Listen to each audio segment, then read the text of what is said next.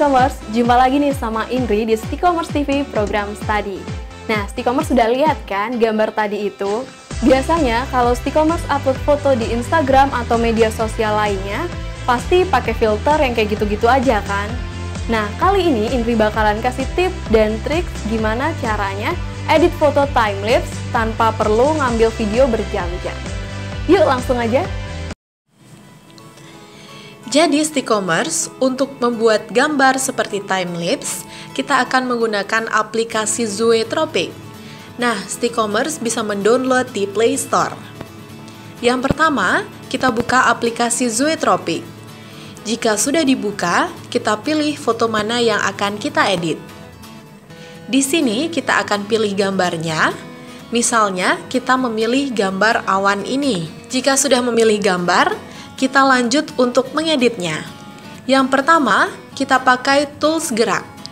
Tools gerak ini untuk mengatur ke mana arah gambar yang kita inginkan. Misalnya, kita ingin arah awan ke kanan, jadi kita arahkan gerak anak panah ke kanan seperti ini.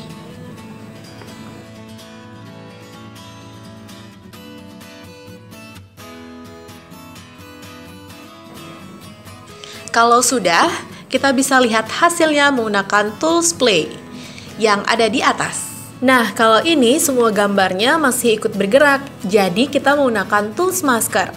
Tools Masker ini untuk membuat gambar agar tidak ikut bergerak. Tools masker ini bisa kita perbesar ataupun perkecil, lalu kita masker gambar mana yang tidak ikut bergerak.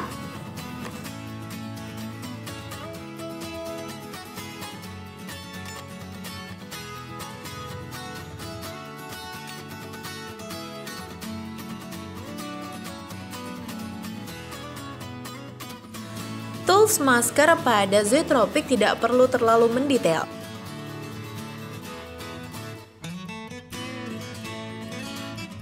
Jika sudah, kita bisa play lagi. Nah, sekarang gambar yang di masker sudah diam, tetapi belum terlalu rapi nih stikomers.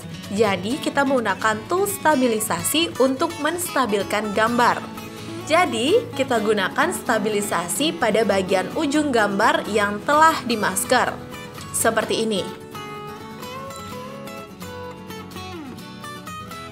Jika sudah, kita play lagi. Nah, jika sudah lebih rapi dan sesuai dengan keinginan kita, kita bisa langsung menyimpannya. Kita simpan dengan format MP4 seperti ini.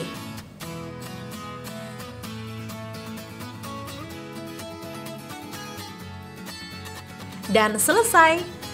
Semoga video ini bermanfaat ya Stickomers. Nah, itu dia tadi tips dan trik edit foto timeless tanpa menggunakan video berjam-jam dan hanya menggunakan satu foto aja. Jadi, Stickomers bisa langsung nyoba deh di rumah. Dan kalau udah bisa, tinggal upload deh di Instagram Stickomers. Semoga bermanfaat ya. Dan jangan lupa like, share, and subscribe Stickomers TV. Stickomers TV, always the first.